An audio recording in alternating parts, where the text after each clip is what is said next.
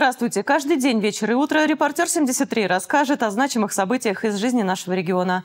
Реальность сама складывает картину дня. В студии Вера Мещерякова. Смотрите сегодня в программе. Декабрьские ручьи. Давайте. Вот так вот давайте Случайно, встаем. мы здесь никогда не ходили, случайно зашли. Так, ну давайте. Опирайтесь на нас и поднимайтесь. Давайте. Предновогодняя пара преподнесла погодный сюрприз.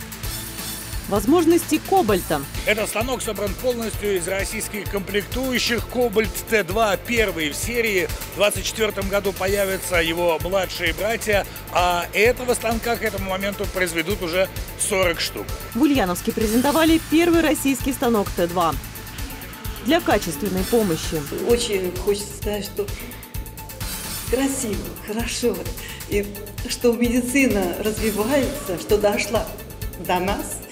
Пусть она еще дальше развивается, и ремонт продолжается. Все очень красиво, хорошо. Регион продолжает модернизировать поликлиники.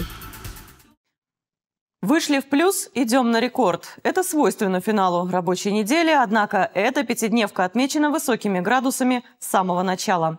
С понедельника ниже нуля не опускалась, а в 21 декабря в четверг региональный температурный показатель достиг абсолютного своего значения. По югу области зафиксировано плюс 5 градусов. Как Ульяновск выживает, а может выплывает, выясняла Татьяна Домоданова.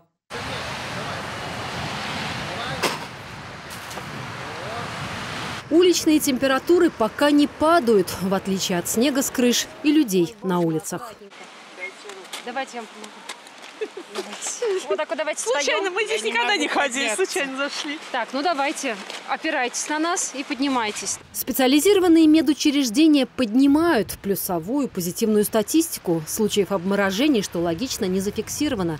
А падение хоть и есть, но в щадящем для медиков режиме. В среднем обращение суточное у нас составляло порядка 90 первичных обращений. На сегодняшний день средний показатель 50 60 человек. Однако каждый конкретный случай иногда влечет за собой побочку в виде образующегося дефицита кадров. Недавно была такая ситуация, что сотрудник шел на работу, подскользнулась, э, упала на руку. Мы сделали ей снимок, и там выявили перелом руки. Поэтому она у нас на данный момент на больничном. Чтобы не уйти на больничные, жители региона передвигаются пешим курсом «Не упади». Кто как может, лишь бы не в лужу, именуя наледь. Некоторые в качестве балансира используют тяжелые сумки, а другие ставят ноги елочкой. Пятки вместе, носки врозь. Но независимо от избранного типа передвижения, характер претензий, он общий. Дворники сами, вот они из ЖЭКа, они чистят хорошо, а вот трактором вообще не чистят. Это полное безобразие. скользко, и лужи тут, и через дорогу пройти тоже это самое надо выбирать, где поглубже, где помельче.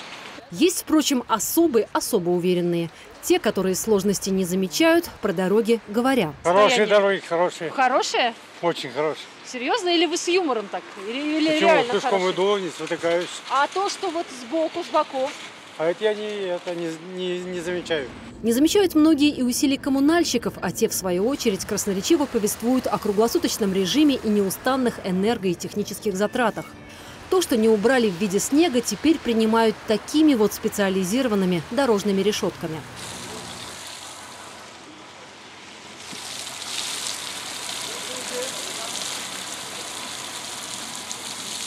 У нас получается второй раз за период работы. Это в прошлом году были ледяные дожди. И вот в этом году. Как говорится, людей и техник всегда не хватает. Но мы работаем, стараемся. В трудах многие. Рыбаки увлеченно тянут рыбу, забывая о перспективах поплыть. А на твердой, пусть и мокрой земле, рабочие возводят главный символ предстоящих торжеств. Создают настроение, которое, как известно, должно зависеть не от градусов, от настроя. Кто-то и настраивается на позитив, но больше тех, кого то ли весна, а то ли осень не устраивает. Говорят, ворона, что ли, такую нетипичную погоду накаркала.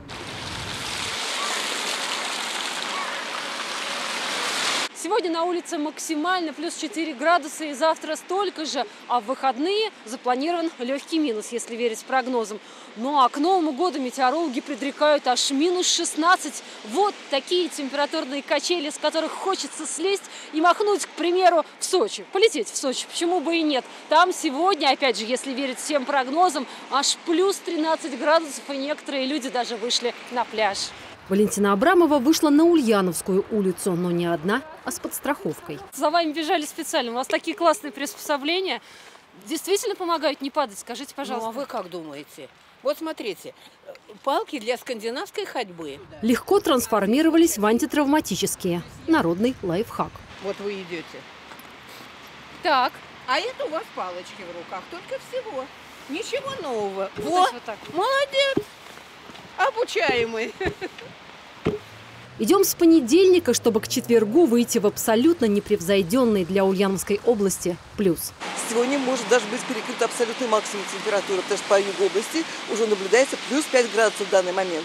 Абсолютный максимум наблюдался в 2015 году на территории Ульяновской области и составлял плюс 3,4. Татьяна Домоданова и Максим Архипов, репортер 73. Первый шаг к производству собственного механообрабатывающего оборудования сделан в Ульяновске. На одном из заводов представили первый рабочий образец обрабатывающего центра с ЧПУ «Кобальт-Т2». О потребностях в нем отечественной промышленности, производственных возможностях предприятия и перспективе расширения модельного ряда выпускаемого оборудования расскажет Евгений Луковкин. Жмем на кнопку, запускаем производство собственных станков. Большой шаг для ульяновского предприятия и такой же большой шаг для всего станкостроения России. В условиях санкционного давления мы доказали свою состоятельность и самостоятельность. Я нисколько не сомневаюсь, что наш регион вернет себе заслуженное звание Центра отечественного машины и станкостроения. У нас для этого есть все. Есть кадры, есть необходимые мощности, есть оборудование. Кобальт Т2 внешне похож и на китайские станки, и на японские, лишь потому, что все они сделаны для выполнения конкретных задач, а значит конструктивно схожи. В остальном же... Его преимущество, во-первых, в э, том, что это машина собственной разработки, э, разработана командой опытных специалистов, которые работают в Ульяновске, которые имеют опыт э, в станкостроении большой, и на основании этого мы, мы уверены, что данная конструкция будет пользоваться популярностью а благодаря ее широким техническим возможностям, удобствам управления, а, точностным характеристикам. В первом полугодии 2024 года станок получит статус российской продукции в соответствии с требованиями 719 постановления правительства. А с третьего квартала нового года начнется его серийное производство. Этот станок собран полностью из российских комплектующих. Кобальт Т2 первый в серии. В 2024 году появятся его младшие братья. А этого станка к этому моменту произведут уже 40 штук. Кобальт М10 и Кобальт А5 вместе с Кобальт Т2 можно будет использовать в автомобиле и приборостроении, авиационной и медицинской промышленности, на предприятиях, изготавливающих оборудование для пищевой промышленности и агропромышленного комплекса, а также для нефтегазовой отрасли. Я бы сказал, что это не старшие, не младшие братья, это э, практически братья-одногодки э, с точки зрения э, технических характеристик. Это просто другого класса станки. Это токарный станок, также будет вертикальный трехкоординатный фрезерный станок, и также будет вертикальный а, фрезерный станок а, пятиосевого исполнения. В следующем году предприятие планирует в два раза увеличить свои производственные площади до 4000 квадратных метров. Сегодня в Ульяновском филиале работают 130 человек, в том числе 14 высококвалифицированных инженеров. Коллектив компании состоит в основном из бывших работников Ульяновского станкостроительного завода. По оценкам э, рынка станков с числовым программным управлением, рынок вырос в 2022 году в полтора раза по разным оценкам. Имея опыт Ульяновского станкостроительного завода, у него план выпуска станков на 2022 год составлял 450 станков с числовым программным управления в год. То есть вот это та планка, до которой мы должны дойти в течение двух-трех лет. Евгений Луковкин, Максим Архипов, репортер 73. Обращаться за медицинской помощью рано или поздно вынужден каждый человек. Улучшить качество медицинского обслуживания помогает федеральная программа «Модернизация первичного звена здравоохранения». В Ульяновской области участие в ней принимают 16 многопрофильных медучреждений. О том, как национальный проект помогает сделать помощь доступнее в городской поликлинике номер 4, расскажет Екатерина Горбачева.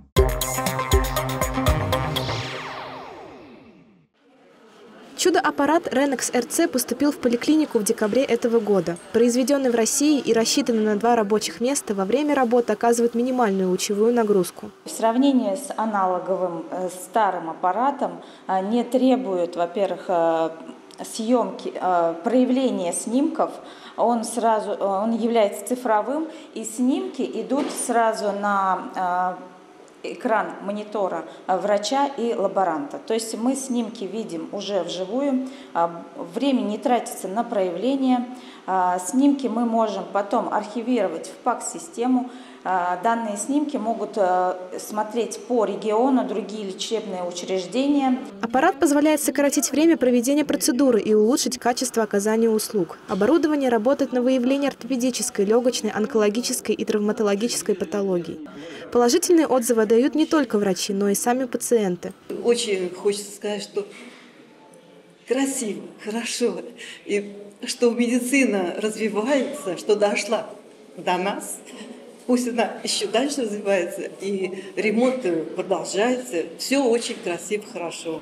По профильному национальному проекту в поликлинике уже второй год также проводятся ремонтные работы. Сделать это было необходимо, ведь кабинеты здесь не обновляли давно. У нас отремонтирован первый этаж эм, отделения медицинской профилактики, полностью отремонтировано. А второй этаж отремонтирован полностью. Диагностические отделения, часть это отделение эндоскопии, отделение функциональной диагностики, а, ультразвуковой диагностики. Они тоже отремонтированы, и уже доктора ведут прием в отремонтированных комфортных условиях. Отделочные работы сейчас проводят на третьем этаже. Здесь будут размещаться хирургическая и урологическая службы. Для их работы уже закупили все медицинское оборудование. Ремонт планируют закончить в начале 2024 года. После этого обновят четвертый этаж. Екатерина Горбачева, Павел Асланиди, репортер 73.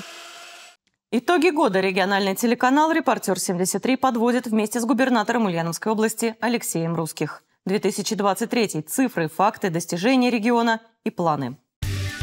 Расскажем, в регионе живут более 15 тысяч многодетных семей. 276 центров активного долголетия охватывают более 20 тысяч человек. Зафиксирован небольшой, но все же рост рождаемости. 22 региональные поликлиники капитально отремонтируют. Достроят детский инфекционный корпус областной больницы и начнут объект поликлиники в Засвияжье. А еще вы узнаете, почему спорт – норма жизни и как каждый второй ульяновец выбрал для себя физкультуру. Что, кроме ремонтов ДК и модельных библиотек, несет в села и города нацпроект «Культура»? «Защитим детей» или «Сколько понадобится средств для оснащения учреждений образования системами безопасности?» Экономика перешагивает кризис, растет за счет обрабатывающего производства, увеличивает объемы. Эффект от этой динамики должна почувствовать каждая ульяновская семья. Развитие территории невозможно без дорог, водного и авиасообщения. И почему всем этим будет заниматься не только внутренний туризм? Смотрите большое интервью губернатора Ульяновской области Алексея Русских. В понедельник и среду на региональном телеканале «Репортер-73» и ОТР. Подводим итоги года вместе. Ульяновская ПАЭС вошла в тройку самых инвестиционно привлекательных особых экономических зон по стране. В рейтинге участвовали 32 зоны из 26 регионов. На сегодняшний день на территории ПАЭС работает 53 предприятия резидента. 9 новых разместились в этом году. Общий объем инвестиций более 17 миллиардов рублей. Создано свыше 1200 рабочих мест. Отмечается, особые экономические зоны получают полный пакет мер поддержки. Компании обретают статус резидента по ускоренной схеме. От бизнеса требуется ответственное отношение, достижение всех обозначенных планов. Далее коротко другие интересные новости региона. Всей семьей к этому всероссийскому проекту присоединился наш регион. Программа приурочена к тематическому году семьи и предполагает комплекс культурных, спортивных и развлекательных мероприятий, нацеленных на пропаганду традиционных семейных ценностей. По словам министра просвещения Ульяновской области Натальи Семеновой, в регионе состоится конкурс, по итогам которого выберут самые спортивную, креативную и увлеченную семьи.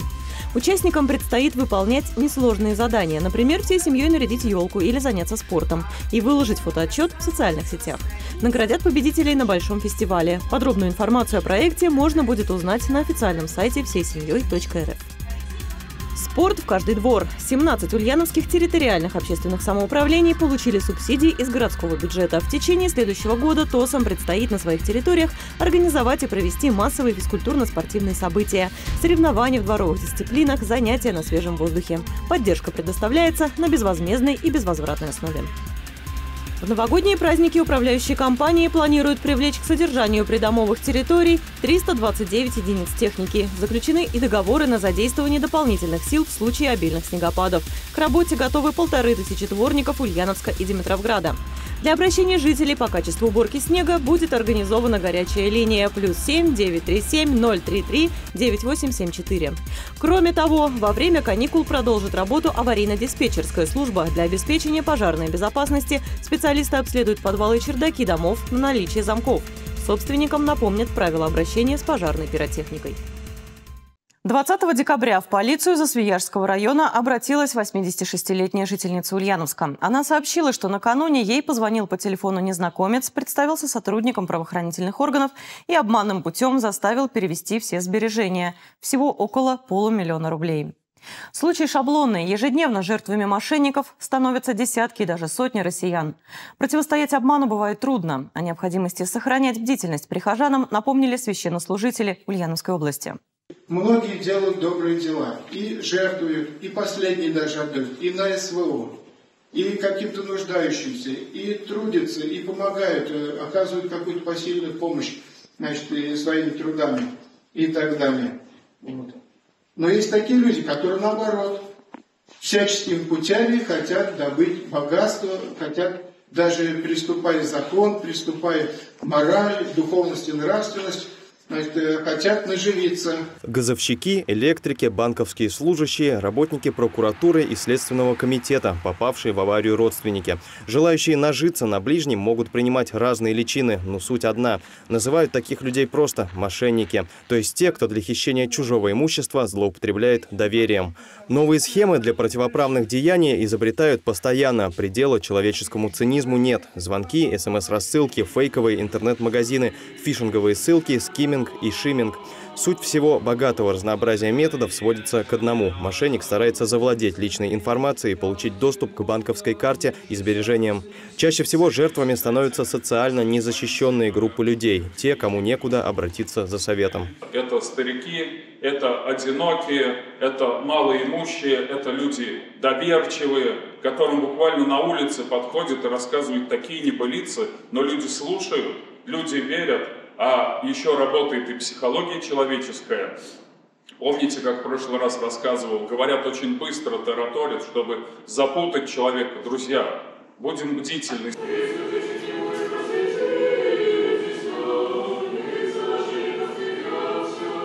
Чем чаще мы напоминаем, тем чаще люди задумываются о том, кто им звонит, с какими целями звонят.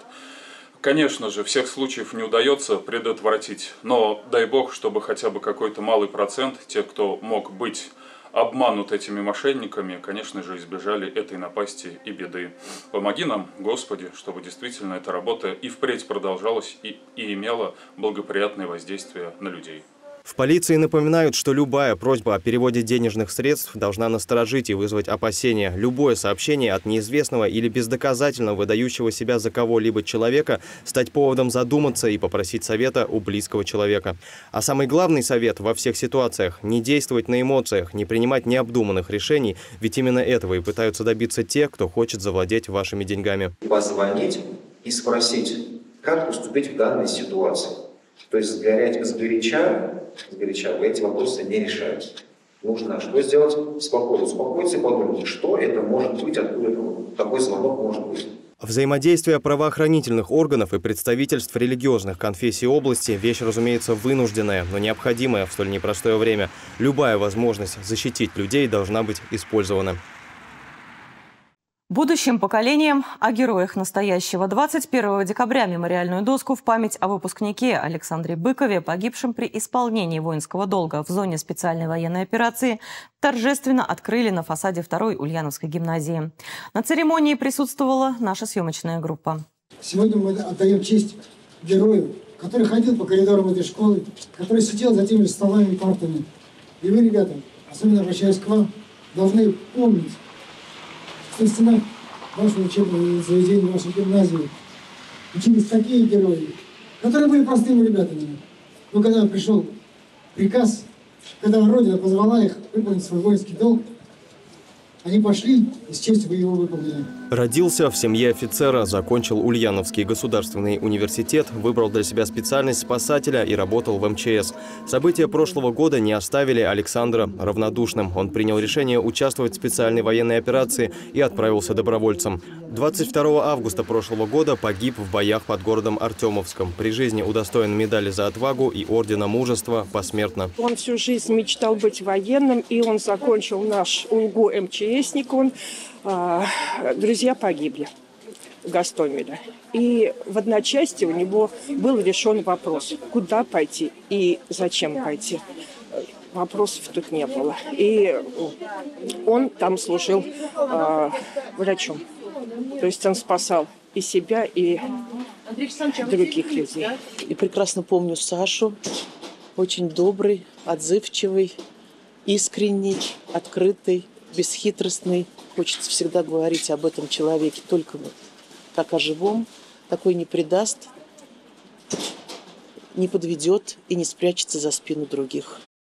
20 декабря во Дворце творчества состоялась торжественная церемония награждения детских театральных коллективов образовательных учреждений области. Победителей и призеров региональных этапов всероссийских конкурсов и фестивалей 2023 года наградили дипломами Министерства просвещения Ульяновской области. Об успехах юных театралов расскажем далее. Большие итоги малых коллективов. Уходящий год в жизни школьных театров Ульяновска и области выдался насыщенным. На сцене Дворца творчества детей и молодежи одновременно лауреаты, финалисты и призеры сразу четырех детских театральных конкурсов и фестивалей. Проигравших нет. Сегодня подводятся итоги четырех конкурсов и даже объявится еще, будет объявлен еще один образцовый коллектив, что для нас тоже очень важно. Вообще творчество во Дворце творчества. Это то самое, ради чего вообще вы сюда приходите.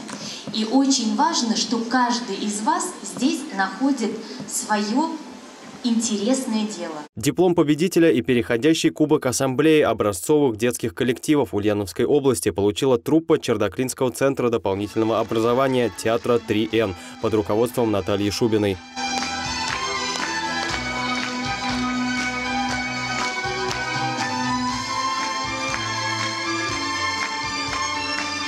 Самым ожидаемым среди участников и зрителей стало награждение финалистов фестиваля «Театральное Приволжье». В этом году региональный этап собрал рекордное количество заявок – 44 коллектива, почти 50 спектаклей и постановок, порядка 600 участников. Это невероятный охват для Ульяновской области. Я считаю, что это наша такая э, большая победа совместными усилиями. Мы э, создаем, воссоздаем школьные театральные коллективы э, во всех образовательных организациях области области.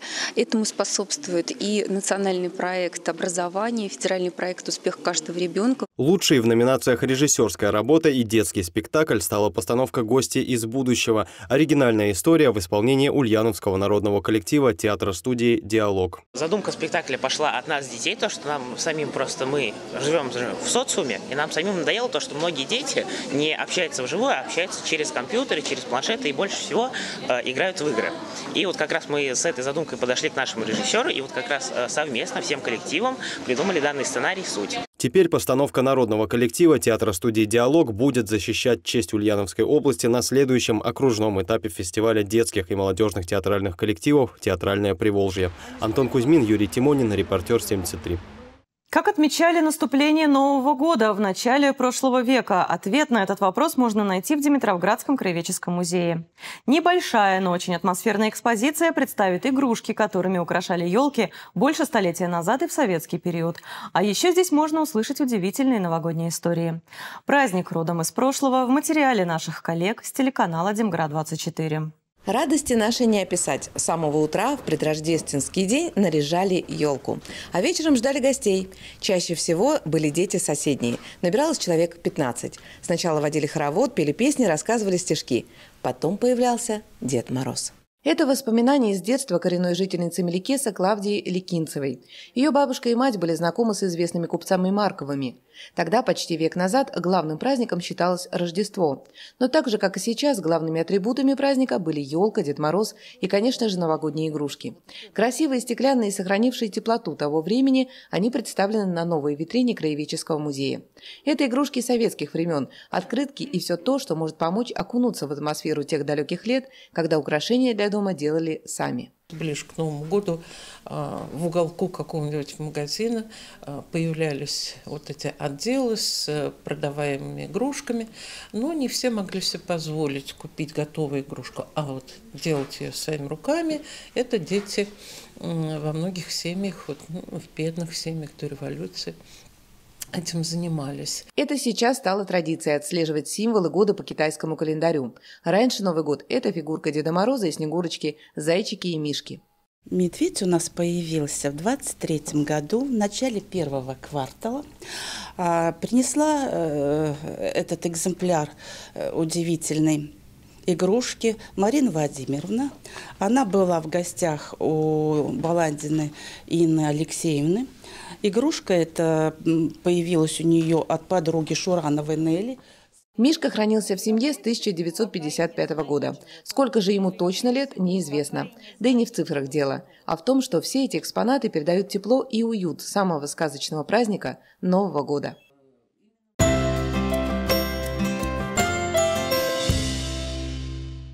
Мы победили, потому что мы были вместе. Люди разных национальностей и вероисповеданий одной большой Родины.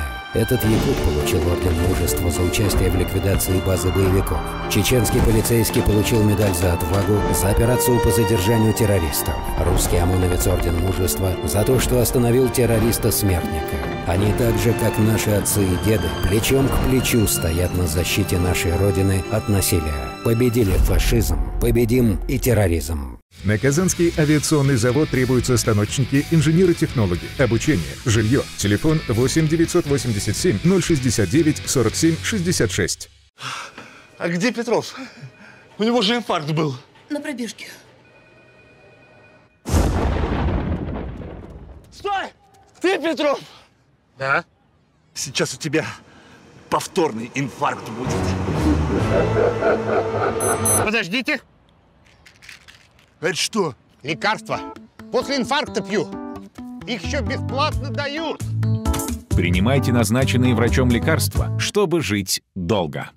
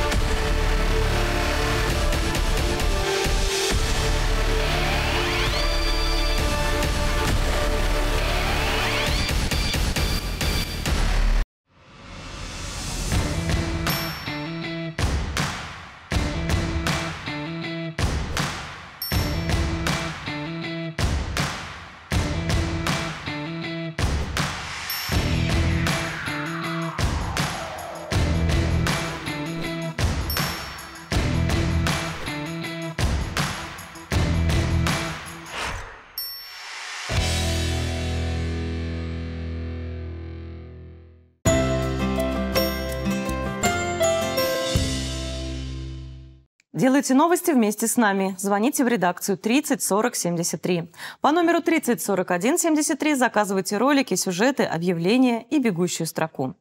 Смотрите «Репортер» в эфире в Ютубе и на Яндекс.Дзене. Читайте в соцсетях. Подпишитесь и будьте в курсе реальности.